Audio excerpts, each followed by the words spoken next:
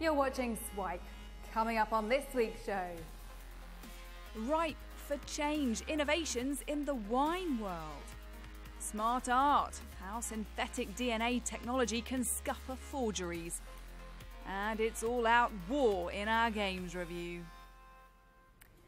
Hello and welcome to Swipe. This week we're at an art framing studio. We're here to meet the British company fighting art forgery using synthetic DNA technology.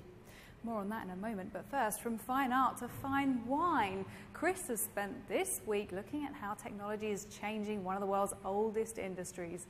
Well, that's the excuse he gave us anyway. Virtual reality isn't something you'd normally associate with wine. But this VR vineyard, complete with its own bird noises, aims to give a unique spin on blind tasting.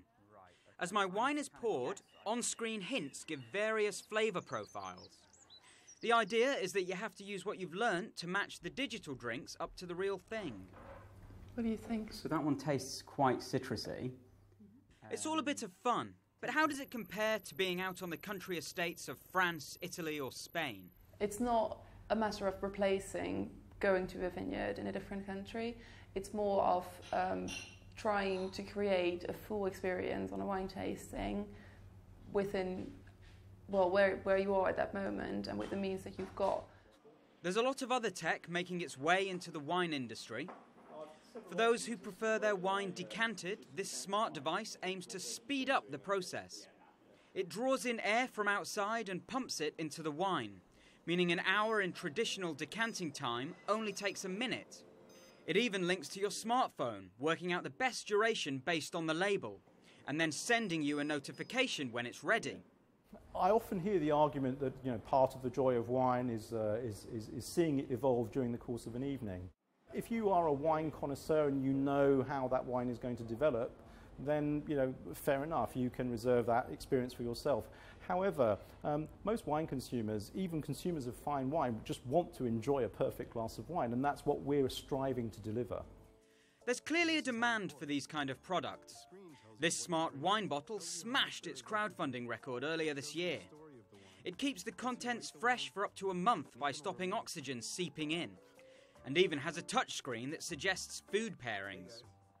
But some say too much technology dilutes the wine drinking experience.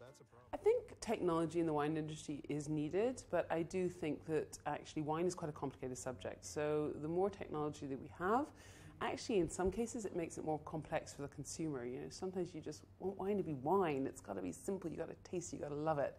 I think sometimes these things cloud what's in the actual bottle itself. Wine is more popular now than ever, with 60% of UK adults saying it's their favourite alcoholic drink. All this gadgetry might not be to everyone's taste. Wine B has a herbaceous finish. But as the market grows, it's likely we'll see more ideas pouring in. Chris Creegan, Sky News. Stay with us. Still to come, I'll be getting a close up look at some synthetic DNA technology being used to prevent art forgeries. But before then, here's a roundup of some of this week's other tech news. The US Navy is launching a new type of weapon, literally.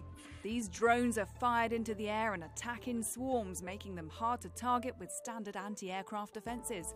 The aptly named Locust project is still in its test phase, but experts think it could be the future of warfare.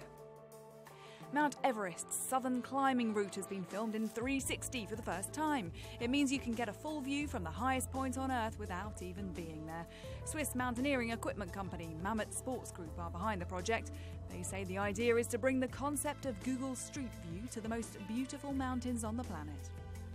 A gadget that it's claimed can turn any surface into a remote control has smashed its crowdfunding target, taking in more than half a million dollars in just a week.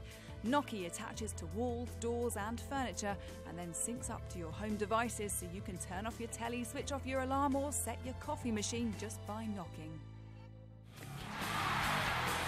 Stick around for our games review where we return to the world of Spira. Blitzball, anyone?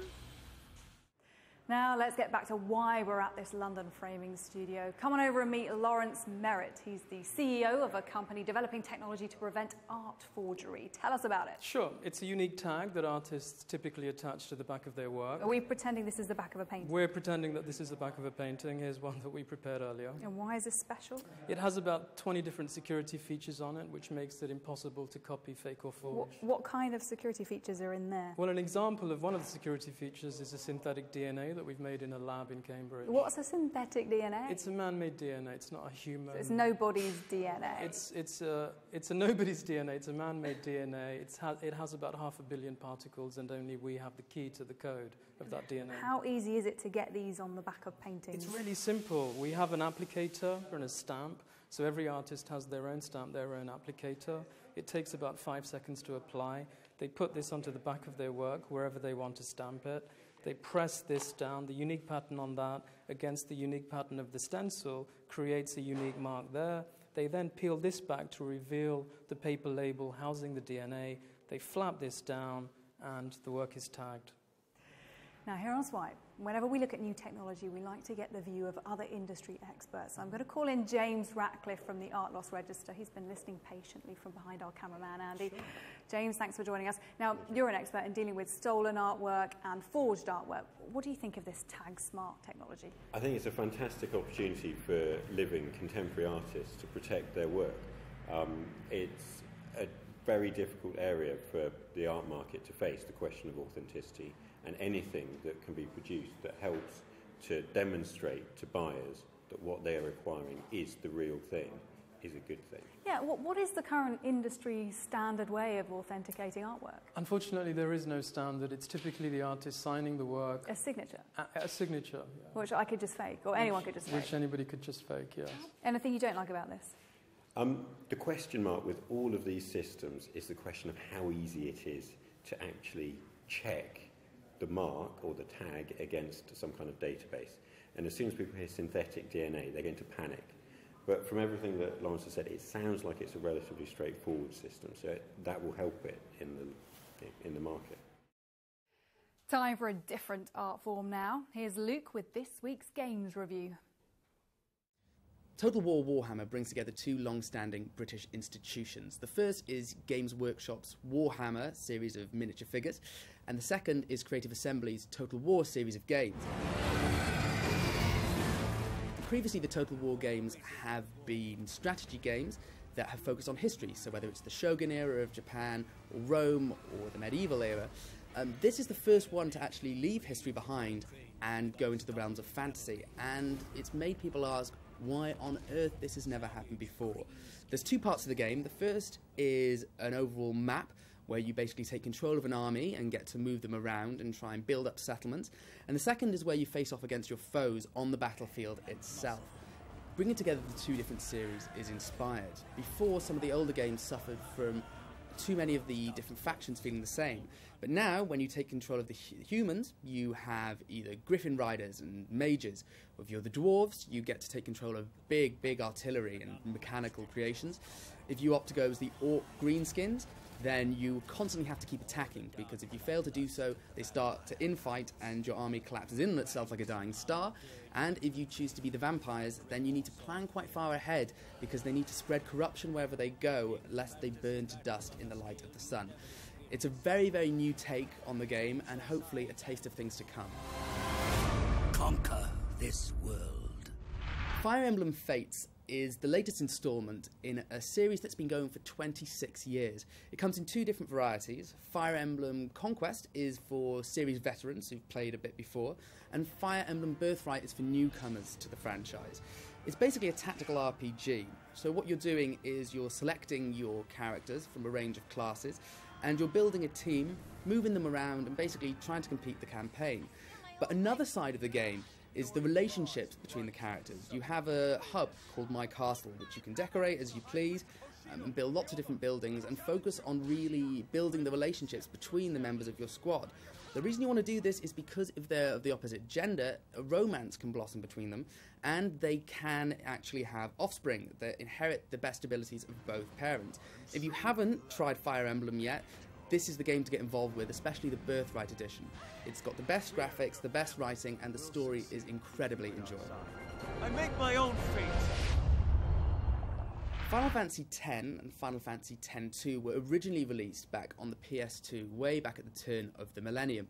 But now they've been re-released in HD and this week they are coming to PC, specifically Steam.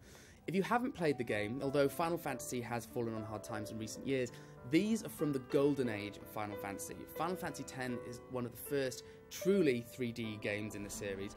Still has the turn-based battles, still has the random battles, and still has airship exploration.